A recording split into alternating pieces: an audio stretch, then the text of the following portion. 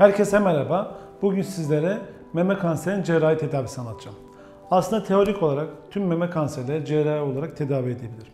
Fakat bunun için bazı şartlar gerekir.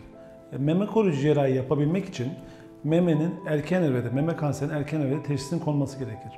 Yani e, 5 santimden küçükse, tümör boyutu 5 santimden küçükse bu hastalar meme koruyucu cerrahiye adaydır. Eğer koltuk altında da bir yayılım yoksa. Fakat hangi hastaya hangi cerrahi tedavinin yapılacağı genellikle radyolojik görüntülemelerden sonra yani memede birkaç odak var mı, koltuk altında yayılım var mı, yok mu diye radyolojik görüntülemelerden sonra yapılır.